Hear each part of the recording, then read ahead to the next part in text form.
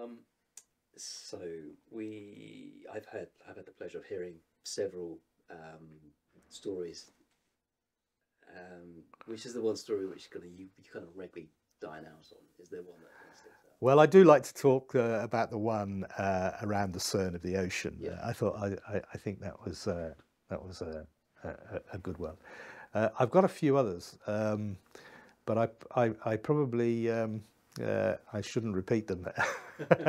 I might write them down one day, but uh, uh, uh, I've um, yeah I I Can you talk about the um, Boaty McBoatface and how oh, our Autosub became Boaty McBoatface? Yes. Well, of course. Um, yes, that was that was an interesting uh, uh, story. I was, um, as you know, NERC had this idea to um, uh, let the public uh, choose the name of the new polar research vessel. In fact, I was with the uh, then NERC chief executive Duncan Wingham uh, in his office. We'd just uh, uh, had a had a one-to-one meeting, and it had finished, and some people came in, and um, they were communications people, and they said, "Oh, we've had a great idea. Um, why don't we let the the uh, public have a say in this uh, new um, uh, ship?" And I remember his words, his exact words to this day. He said, "Well, make sure uh, you give them a limited list of names." Because otherwise, it's going to end up with some stupid name like Snoop Dogg. Um, they they went off to the uh, to BEIS and the civil servants there. They thought it was a great idea, and the science minister's office thought it was a great idea. Um, but somewhere in the process, the idea of ha- having a limited list got dropped. This was going to be a completely open vote, and of course, we all know what happened next. The great British public, um, in their wisdom and their, their sense of humour, uh, chose the name Boaty McBoatface, which was you know way in a, ahead of any other other names of illustrious individuals who it might be named after, like David Attenborough. And uh, this was all happening at the, at the time of the Brexit vote as well. So there was a there was a sort of a serious political dimension to this because this was never meant to be a vote either. It was these these were suggestions, but of course this was all lost on the in translation. So if if the will of the people in terms of the naming of this vessel was going to be discarded, then what was going to happen in this Brexit vote? So, so, so this this was a serious issue. Um, clearly, they weren't going to call the new polar vessel uh, Boaty McBoatface, and um, it was duly given a name, which of course nobody could disagree with, uh, Sir David Attenborough. But it was decided that the name Boaty McBoatface um, would have to live on. And one idea was to name one of the lifeboats uh, Boaty McBoatface. But the Maritime and Coast Guard Agency was absolutely having none of that. Because you can't have a lifeboat, you know, of a ship that's sunk floating around with the name Boating, but you need to know what, what the name of the ship is that it's come from. So they, they were having none of that. Um, and so eventually I got a call one, uh, six o'clock one evening saying, well, the science ministers decide the name will live on and it will be a um, uh, one of these uh, submersibles. Um, realizing that NOC was the only place with any submersibles at all, autonomous uh, underwater vehicles, it was quite quite clear it was um, it was going to come from us, and um, and could could in the next half an hour uh, they have a photograph of which one it was. So uh, so that's that's how it how it came. I was quite cross at the time um, because uh, I thought, well, if it's not good enough for the the new polar vessel, why should uh, the name be attached? You know, a joke name be attached to something that you know we put 25 years of uh, more of effort into. It's a serious business observing the ocean. Um, and I did uh, uh, complain quite bitterly to NERC about this, and uh, I, I received an unsympathetic response, shall we say. But um, eventually, I could see that it got publicity value. It was opening doors that we could never, never, never get to. That's proven to be a great engagement tool. And so it is a great, great engagement tool. So, so I got, I got over my initial uh, annoyance at this. But um, but uh, yeah, that's a that was a good story. So time for another picture, Ed. Um, hand this one to you. What did you and Prince Philip? Ah, yes, yes. This was uh, the naming of the National Oceanography Centre, Southampton, as it was then known in uh, 2005. Um, I'd come uh, with uh, a vision, really, to um, create a national oceanography centre, which I always claimed was not my vision. Um, it was the original uh, vision, which went right back to 1989 when uh, Council uh, approved the uh, creation of a large uh, oceanographic institution, which would involve bringing together um, various uh, activities like the research vessel base, the Institute of Oceanographic Sciences based in, in Wormley, uh, along with um, departments from the University of Southampton and some smaller institutes into a, a, a large uh, centre. Uh, and it was described um, uh, back in 1989, and uh, it was uh, John Woods, who was then the uh, NERC Director of Marine and Atmospheric Sciences, who really promoted this vision very hard that this should be the national focus for oceanography uh, in the UK. Um, yet it, it, it hadn't uh, fully realised uh, that potential. It became, uh, it was formed as the, uh, originally the name was going to be the Southampton uh, Centre for Deep Sea Oceanography so very uh, specific remit. Then it became the Southampton Oceanography Centre.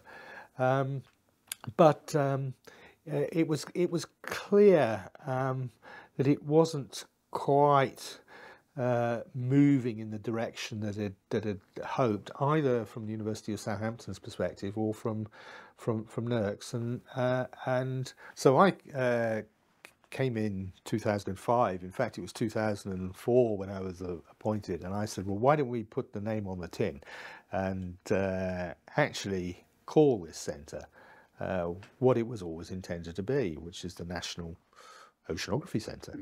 Uh, and so that's what we did. There was some um, disquiet about that. There were, you know, was that the right name for the centre? Um, the university were concerned that the name Southampton would be lost. Um, uh, so there was a classic compromise of calling it the National Oceanography Centre, comma, uh, uh, Southampton. But uh, I said, give me the word national and uh, we can build what the centre really uh, was always intended to be. Mm. And and that's that's what we what we did. And I remember saying to staff at the time, we're we're not actually yet the National Oceanography Centre. We've got the name. What we have to do now is earn the name uh, to start behaving as one and start to to function uh, in that that mould. And and that's what we uh, started to do. So the beginning of this, for, for me, the, the, the, the, name was crucial, and I always used to say, um, the vision is in the name. Yeah. Uh, that that's what we're trying to uh, achieve here. The um, uh, Royal Academy of Engineering was uh, hosting a, a, a summer um, soiree uh, event uh, big black tie uh, event here at Southampton. There was a, a marquee out on the quayside, and um, uh, uh a lot of uh, people were coming, including um, the senior president of the of the of the Royal Academy of Engineering, which is the Duke of Edinburgh. And so I thought this was an opportunity. Um, because he had originally come to name uh, the building, the Southampton Oceanography Centre, the centre uh, uh, when it was opened in 94, 90, 95. Um, and so I thought, who, who more appropriate to, to do this than him? And so uh, it was a bit naughty, I suppose, but I managed to hijack him for uh, part of that visit, and he agreed to, to do it. And uh, and uh, I made a short speech uh, uh, explaining why we were calling it this, which was to um, bring about and make a reality of this vision mm. of a true national focus for oceanography in the UK. And he duly uh, unveiled the, the plaque, and uh, and that was it. Yeah. Um, there was no turning back from the name at that point of view, and you know, we knew we had that in the bag. Yeah. And as I said, the name um, reflected the ambition of what uh, I was hoping we could we could achieve. And, and uh, stroke of genius giving that real seal of, seal of approval as well. Yeah, absolutely. Yeah, I've uh, I, I, I thought that uh, it would there would be no going back from from that. So. And, uh, um, Philip's quite a Prince Philip's quite a, a character. He, he, any stories? Oh uh, yes, he, he, he is uh, he is quite a quite a character. Uh, we gave him a little uh, a little uh, token of appreciation for mm. doing, which was a you know a colour coffee table uh, uh, book, uh, which was open at a, a, suitable page, and it uh, showed some tropical fish. And uh, he made the sort of a mark. Well, well, are there any fish left in the sea? And uh, um, but he, um, he he was he was very he was very good. And of course, we've had a number of uh, royal visits since, and the Princess Royal has named both of the mm. royal research vessels. The James Cook, she came in in 2007, and then she came back in 2013 for the naming of, of, of the of the discovery. Um, so so yeah. So uh, I got, I guess you know you've met the royal family, um, you know, heads of state, uh, leading top academics, um, and you know indeed leaders of industry. Thinking back, is there one person that, that really kind of stands out as, as being inspirational? Um, well, that's quite uh, quite a difficult uh, uh, question, really. Um, but I can uh, trace some people who've had an in influence on on on me, um, and who've, who've, who've impressed me. One of which was uh, not the first, but the second chief executive of NERC, that I, I worked for. Uh, the, first one who appointed me was uh, Sir John Krebs, uh, but uh, he qu quickly handed over to Sir John Lawton, uh, who was uh, really quite an inspirational um, figure. He he actually came in with a with a reputation of disliking marine science, um, and he didn't much like uh, research institutes either.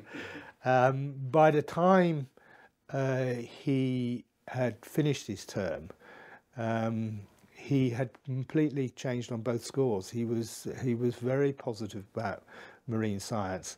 Indeed, he was the one who really drove the funding uh, behind what is now the, the RAPID uh, program and made sure that that uh, that happened. Um, he he uh, he had been to meetings in in Norway and the US and was persuaded to to, to put the money behind that. So he he he, he did that, um, and uh, I I ended up getting on uh, very well with him. Um, but I remember my first meeting with him when he was appointed as chief executive. And he sat me down in uh, his his room and he says it works like this ed. Um, i expect my directors to direct. He said if you uh, mess up come and tell me. I won't blame you. I just need to know. Uh, if you mess up repeatedly i might begin to question your judgment and that was that was the only instruction I ever got from him uh, about anything. But I found that truly sort of uh, empowering, yeah. and I took him at his word.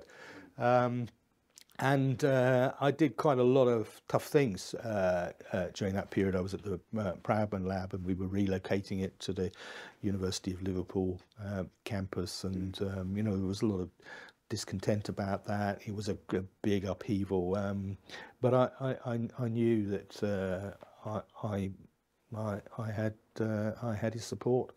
So that that that was a, a fine example of, um, of, of somebody who really really I found quite quite inspiring, and uh, he um, he was one of life's great enthusiasts. Whenever he came into, uh, uh, he, he loved talking about science, and you know everybody um, just felt a lot better when he left the room than they did when he walk, walked in. And that, that's not always been the case for, for, for, for all people that you encounter, but people who can do that um, are a rare, a rare talent.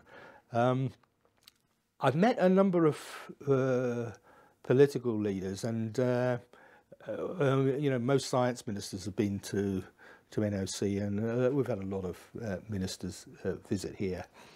Um, I would have to say there are only two ministers that have really stuck in my mind as being uh, exceptional and sort of had something about them and some character. Um, and they were at opposite ends of the political spectrum.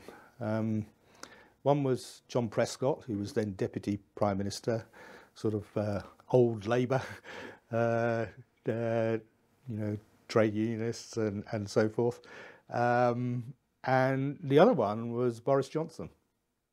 Um, and both of them uh, are not everyone's uh, cup of tea necessarily. Um, but I found both of those um, um, actually very interested um, and able to interact and communicate in without the the blandness, should we say, that is typical of typical of, of, of many.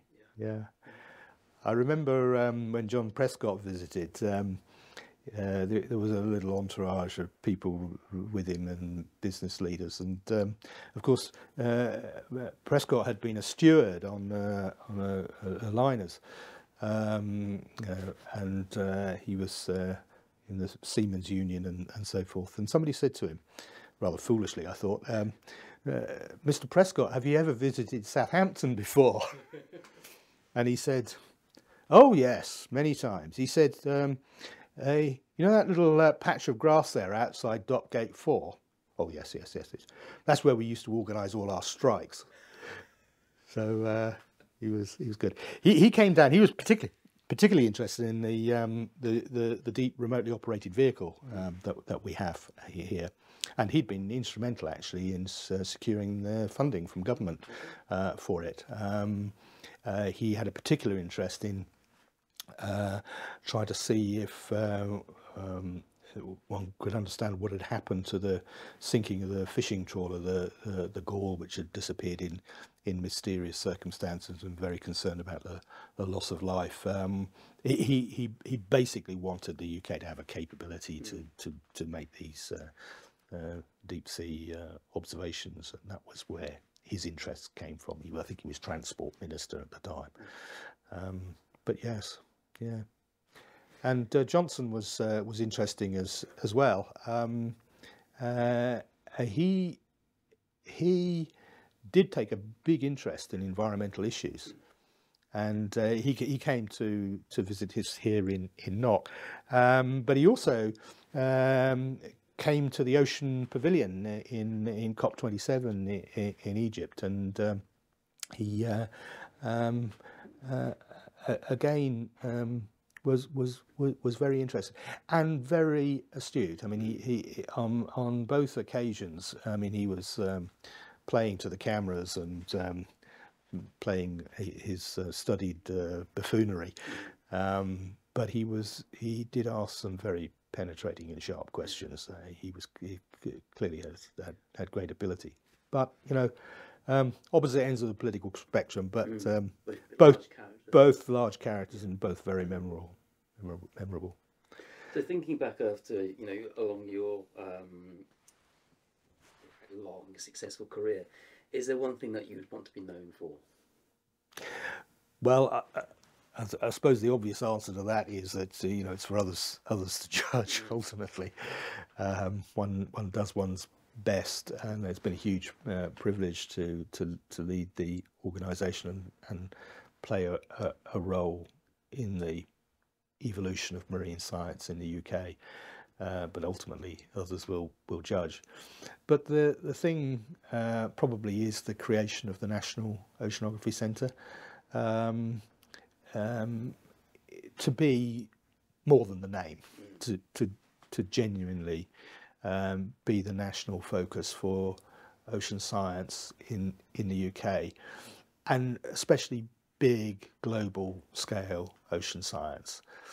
Um, from time to time, uh, chief executives would sort of start asking about, or oh, do we really need all these institutes? And I would simply say, look, there's no serious country on the planet who's um, trying to do oceanography uh, at scale that is attempting to do this through their university sector alone. I mean, there's a huge number of bright academics and capabilities across the 30 or more universities in the UK that do ocean science.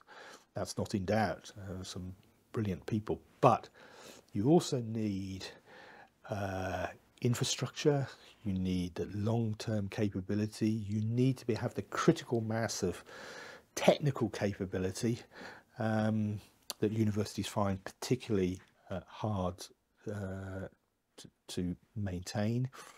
You need to be able to uh, maintain those pieces of equipment like deep remotely operated vehicles that the, the UK can only afford one of. Mm-hmm. Um, and those areas of science that would struggle on their own uh, um, to survive in the university sector. I, I used to say that uh, in Britain you could get all the sort of principal investigator level physical oceanographers and fit them on a double decker bus. Uh, uh, and uh, the, the, the, the, the lower floor would be NOC, uh, and the upper floor would be scattered across a very large number of universities in numbers of, you know, no more than two or three. Um, and so that that's an example of a discipline that, that needs a, sort of a critical mass of capability. And there are others as well. Um, to be able to get that longevity of vision, to do the support for the sustained observing systems, which go beyond um, the lifetime of a three-year research grant, or of the or, or of activities where they cannot just be dependent on the principal investigator. In other words, when those people leave, um, that's the end mm. of that particular activity. There's a longevity and that's that's needed, and so those are you know many of the ingredients uh, of a of, an, of a national centre. And what I've always believed, crucially, is that you know the the word national not means something. It means it's um, somehow enabling the whole of the UK's national science community to make it stronger together mm. than it would be uh, without the existence of NOC. And that's how how you tell uh, that you've got something. And, and the countries that do this successfully are able to make their national institution and their academic sector work together to be mutually supportive, mutually valued, and you get the full power of your of your science community out. And that's that's what I think you need. Actually, I think many countries don't do this very well, um, and I think Britain does it particularly well. And I I I, I believe that the National Oceanography Centre has got something to do with that. So I'm I'm proud to have had a part in bringing that to into existence. As I've said on many occasions, that wasn't my vision. I'd claim no originality in the vision, but I like to think that I had a role in actually making it happen and turning it from an idea yeah. into something that picked up the baton that is is to, is today. Uh, because it could so easily have lost its way and not not it could have turned into something else, which I didn't think was was right. But uh, and so I'm, I'm pleased that that's where it is. And uh, was not becoming an independent uh, institution ever part of the plan? Was that was that was it just again another opportunity? Uh, I always thought that um, something would happen along those lines. To be perfectly honest, I didn't think it would happen in my term. Um, uh, you know, the, the, the, the centre's been through three gestations. It was essentially something that was um, probably on a course to become a department, a school of the University of Southampton. Um, it then moved into NERC to become a wholly owned NERC, NERC Institute and then became uh, an independent self-governing uh, organisation. So that's three uh, uh, gestations and I didn't think that that last one would happen in my my time. But the opportunity for it to happen came quite quickly after we moved into NERC. Um, it had been talked about for some time, um, but NERC had never really got any interest in doing it. And then a chief executive came along who actually did uh, or want to want to do it. So, um, and then of course it took an absolutely uh, inordinate amount of time to make it happen. You know, over six six years. Um, so um, it, that uh, so it's all, it's all part of the, the, the journey. And the important part of of that for for NOC's uh, formation was it gave it the independence, uh, the freedom, and the flexibility uh, to be able to uh, develop in a way that had become increasingly difficult inside uh, the government system. You know, to be able to hire top talent across the world, to be able to uh, generate surplus revenue that we could feed back into our own science, taking our own risks, um, investing in promising new areas of science and technology, all of those things. Uh, originally, uh, as NERC institutes, those flexibilities existed. And so I would have been quite content uh, for it to have stayed as, an, as, a, as a NERC institute and thought that that's probably what would happen for a very long time. Um, um, but that whole system gummed up, particularly after the financial crisis in 2008. And those freedoms um, very quickly were, were, were removed, and it became quite clear that it was in, incompatible with attempting to run a world-class scientific organisation. So, um, so all that uh, all that happened quite quite quite quickly.